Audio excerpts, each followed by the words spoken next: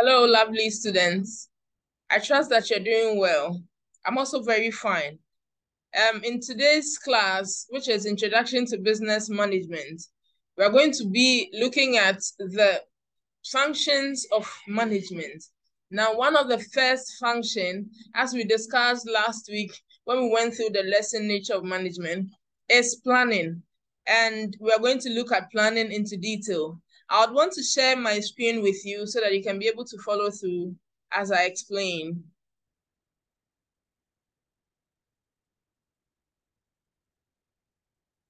All right. So in, in today's class, we're going to be talking into detail about management planning. Okay, and at the end of the lesson, you should be able to define planning. You should be able to state the importance of planning, also identify the types of planning that are available to managers, and then the planning process should be explained clearly by you by the end of the lesson. Right. So in our introduction, we can say that planning is part of management concerned with that part of management which is concerned with creating procedures, rules and regulations for achieving a stated objective.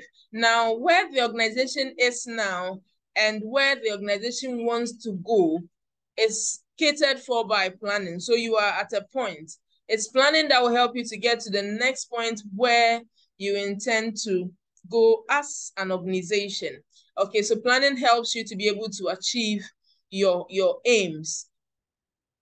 In, in planning, we are saying that it makes it possible for things to happen, which could, which would, but for planning not happen.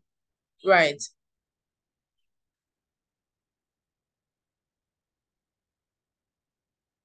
All right.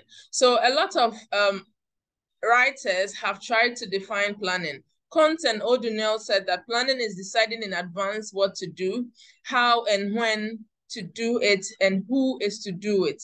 Others have also tried to define planning. So you can look through to see which of the definitions um, best suits your own understanding of planning.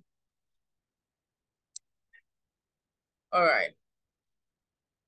Now we'll quickly look at the types of plans that are available. We have the strategic plans, and these plans, typically what they are is that they are meant to define the organization's vision, okay, and how the organization intends to make its vision a reality. So strategic plans are made at the top, and these plans are supposed to direct the entire organization towards where it intends to go. The next type of plans is tactical plans. These plans um, are the plans that managers plan to adopt to achieve the objectives set in the strategic plan. So there's a strategic plan by the top level. You remember when we talked about the levels of management, that the top level makes strategic decisions. So any type of decision that is made at the top has to be broken down to the level of other people in the organization. And that these plans are what we call the tactical plans.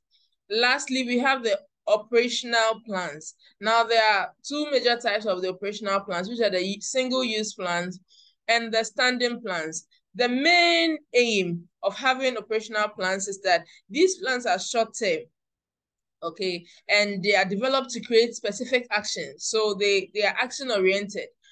Operational plans are a breakdown of tactical plans and they are action oriented. So they help you to be able to actually practicalize whatever you had in the tactical plans and as well as the strategic plans. Okay.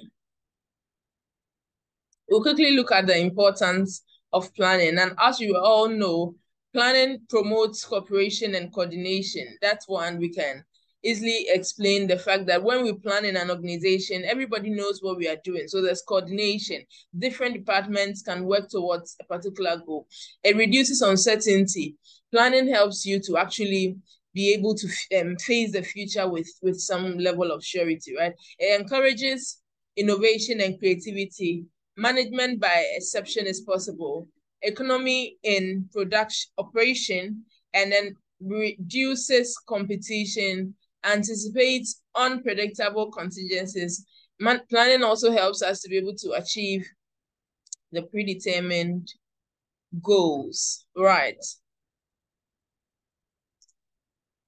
Now, when we talk about planning, it has certain characteristics that will make us know that, okay, this is planning. So what are some of the characteristics? And that is what brings us to the nature of planning.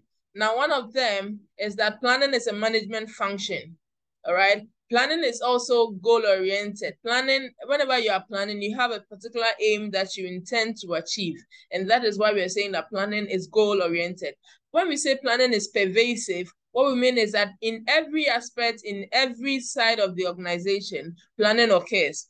Planning, it means that planning is everywhere. So planning is pervasive. Planning is also a continuous activity. Planning happens from time to time. You don't finish planning. I don't know anybody who can say that I finished planning. At every point in time, you keep on planning, you keep on bringing up new ways of doing things. Planning is also an intellectual process. What this means is that it involves critical thinking. It involves the use of your mind. And then it's also futuristic. I mean, nobody plans for yesterday. We always plan for tomorrow. So it's a future activity. You always plan ahead. You planning is, is actually forward looking. So it's a futuristic activity, right? It's also a decision making activity. Planning is just meant for you to be able to make decisions. All right.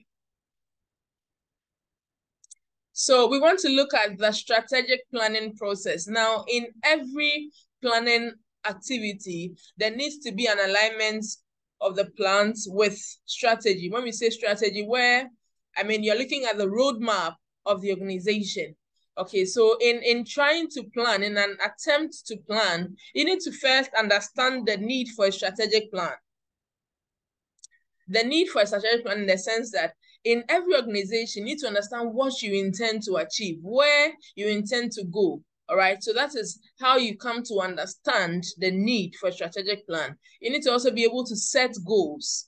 Right. We'll look at them into detail. You need to be able to develop assumptions or premises, then research different ways to achieve objectives, choose your plan of action, develop a supporting plan, and finally implement and review the strategic plan. All right.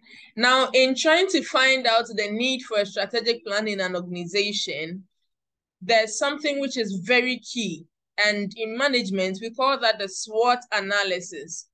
In um, being able to um, perform the SWOT analysis or conduct your SWOT analysis, um, we just break down the various letters in the SWOT. Okay, so the S in SWOT stands for strengths. The W stands for weaknesses, O for opportunities, and then the threat, which is the T. Right. Now, in looking at your business and trying to come up with a strategic plan, you need to find out what your strengths are. The strengths have to do with the firm's brand name and resources, everything that you hold um, dear in your organization, everything that you were known for in that organization. The weaknesses also stand for the low product awareness, poor facility. These are examples of weaknesses that you can have. Okay, everything that you know that um you're trying to work on It's still it's still in progress, work in progress. You can say that it's a weakness, and then the opportunities are those um openings that come for you as a business. The threats are the kind of things that try to hinder your your progress and your performance. So the you notice that from the diagram we have here, the internal factors are the strengths and weaknesses. So the strengths and weaknesses, because they are internal, you have control over them.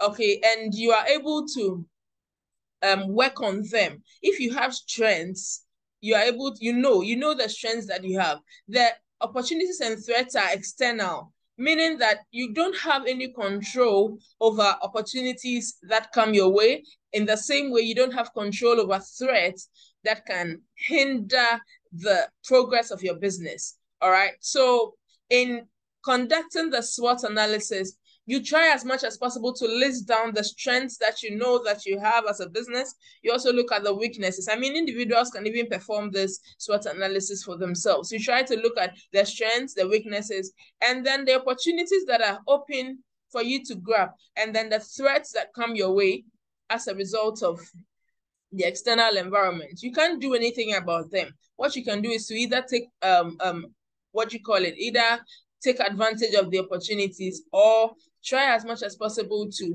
work around the threat to to be able to escape the adverse effects that they can have on your business. So that is what we call the SWOT analysis, analyzing your strengths, your weaknesses, opportunities and threats, and trying as much as possible to work around them. Right. So we go to the next point, which is setting of goals. Now, in setting of goals in management, we have something we call the SMART goals. Okay, SMART. And it's S M A R T. S M A R T. That's SMART. All right. And we are we're going to learn today that the goals that you set, if they are not in line with this SMART acronym, then there is a problem with the goals. Okay.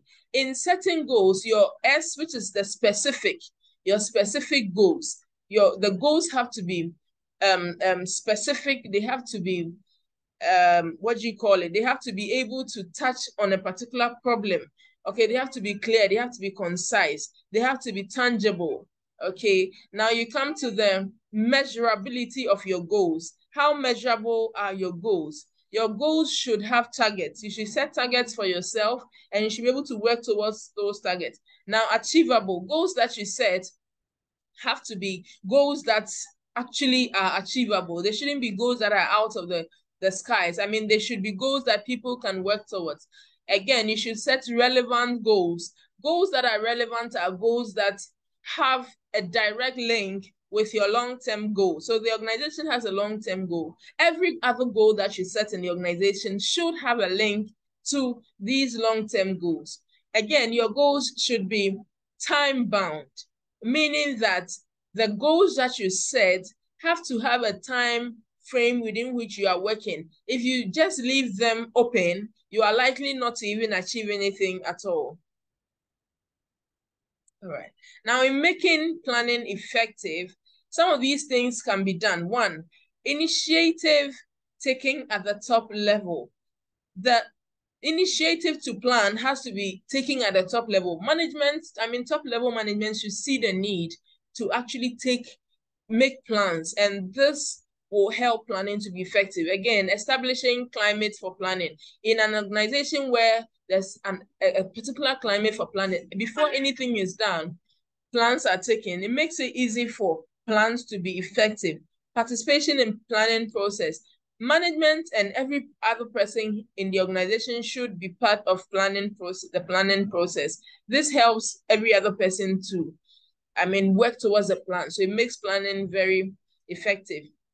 Now, integration of long-term and short-term plans. We've said that your long-term goals have to be in sync with the short-term plans that you're making. At every point in time, you need to have that integration going on there. Now, there should be an open system approach. People should be able to approach management at every point in time because when the plans are being um, executed, if you want it to be effective, you need to be able to be open enough to explain yourself at every point in time as management to help employees to be able to achieve the plans that you have set. All right, so these are the limitations of planning when we say the limitations, the, the downsides of planning, lack of accurate information. Usually when you are in, in the position to plan, but you don't have the information needed, it makes it difficult for you to plan.